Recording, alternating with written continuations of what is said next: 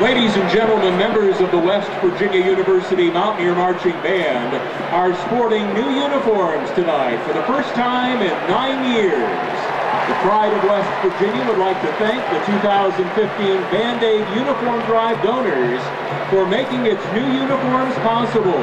This campaign has had over 800 donors who have given more than $200,000 to help purchase these much-needed new uniforms. In addition to our generous donors, the Pride would also like to thank the WVU Athletic Department, the WVU College of Creative Arts, West Virginia University, and the WVU Foundation. Thank you to all supporters of the Pride for your continued support.